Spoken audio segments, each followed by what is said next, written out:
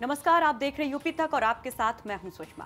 PM Modi और CM योगी के खिलाफ बोलने वाले एक यूट्यूबर को यूपी पुलिस ने गिरफ़्तार किया है।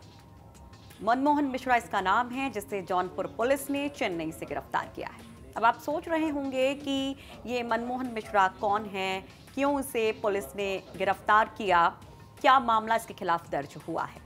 तो वो आपको बताएँगे। सबसे पहले ये जानिए कि मनमोहन मिश्रा, जिसकी उम्र करीब 60 साल बताई जा रही है, उसके एक वीडियो को लेकर जौनपुर कोतवाली थाने के एसएचओ संजीव मिश्रा ने खुद संज्ञान लेते हुए एफआईआर दर्ज की और उसके बाद सर्विलांस के ज़रिए मनमोहन मिश्रा की लोकेशन को ट्रैक किया गया और पता किया गया और उसके बाद जौनपुर पुलिस पहुँच जाती है चेन्नई मनमोहन मिश्रा को गिरफ़्तार करने।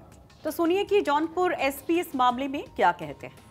पीएम मोदी पर अपमानजनक टिप्पणी को लेकर के गिरफ्तारी की गई है। क्या पूरा मामला एक सोशल मीडिया में एक मामला संज्ञान में आया था, जिसमें एक व्यक्ति है, उसने सोशल मीडिया में के माध्यम से कुछ अनर्गल बयानबाजी की थी कोविड को लेके, कोविड महामारी को लेके। उससे जनता में कोविड के प्रति एक भय फैलने की संभावना थी, जिसको संज्ञान में लेते हुए कोतवाली इंस्पेक्टर द्वारा एक मुकदमा संबंधित अभियोगों में पंजीकृत कराया गया था। और जो व्यक्ति जिसने टिप्पणी की थी, उसके बारे में पता किया गया तो जौनपुर का रहने वाला था और चेन्नई में उसकी लोकेशन थी।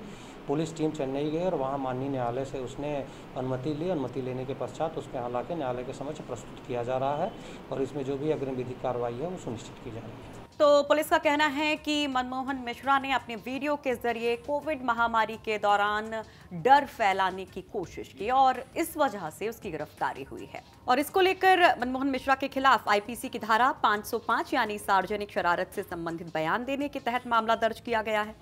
पुलिस ने सूचना प्रौद्योगिकी अधिनियम और महामारी रोग अधिनियम के प्रावधानों को भी लागू किया है।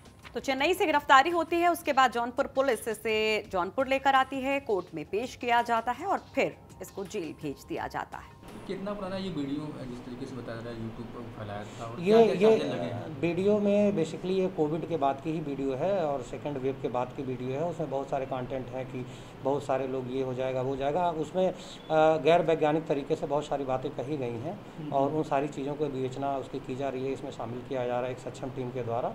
और अग्रिम कार्रवाई जैसे होगी आप लोग को उससे अवगत करा दिया जाएगा। और लोग भी हैं इनके साथ या सिंगल ही हैं? नहीं केवल एक व्यक्ति है जिन्होंने वीडियो अपलोड किया था और इसके आगे अगर कुछ होगा तो वो विवेचना में निकल कर आएगा पुलिस। का स्वतः केस दर्ज किया है या किसी की शिकायत नहीं पुलिस ने इसमें स्वतः संज्ञान लिया। प्रभारी निरीक्षक कोतवाली द्वारा मुकदमा पंजीकृत कराया गया है। सोशल मीडिया में वीडियो लगातार फैल रहा था तो कई लोगों ने उनसे हमसे और बाकी जगह संपर्क किया कि इस तरह की एक वीडियो है जिससे ऐसा माहौल हो रहा है। तो उनकी बात को सुनते हुए स्वतः संज्ञान में लेकर प्रभारी निरीक्षक कोतवाली द्वारा ये मुकदमा पंजीकृत किया गया। सर कहाँ से गिरफ्तारी हुई? क्या क्या चार्जेस लगे हैं? चेन्नई से गिरफ्तारी हुई है उसमें महामारी अधिनियम और अन्य संबंधित धाराओं में मुकदमा पंजीकृत तो पुलिस का कहना है कि भाई आगे की कार्रवाई की जाएगी और यहाँ भ्रम फैलाने की कोशिश की गई दहशत फैलाने की कोशिश की गई और इसलिए ये एक्शन लिया जा रहा है। लेकिन मनमोहन मिश्रा कौन है और इसका जौनपुर कनेक्शन क्या है? जरा वो भी तफसील से जानिए। तो जो जानकारी मिल रही है उसके मुताबिक मनमोहन मिश्रा जौनपुर के सुरेरी का मूल निवासी है और पिछले करीब 30 साल से ये चेन्नई में अपने पूरे परिवार के साथ रह रहा है। वो चेन्नई उपनगर के माधवरम में परिवार के साथ रह रहा था। धारा प्रवाह ये तमिल बोल लेता है और कहा यह जा रहा है, बताया ये जा रहा है कि मिश्रा सरकारी सेवाओं और प्रमाण पत्रों का लाभ उठाने के लिए चेन्नई में उत्तर भारतीय जो मजदूर होते हैं, उनके जो परिवार होते हैं, उनके लिए एजेंट के रूप में काम कर रहे थे। तो मनमोहन मिश्रा अपने यूट्यूब चैनल से पीएम मोदी और सीएम योगी के खिलाफ लगातार बयान दे रहा था और इसको लेकर ही उसके ऊपर सवाल उठे।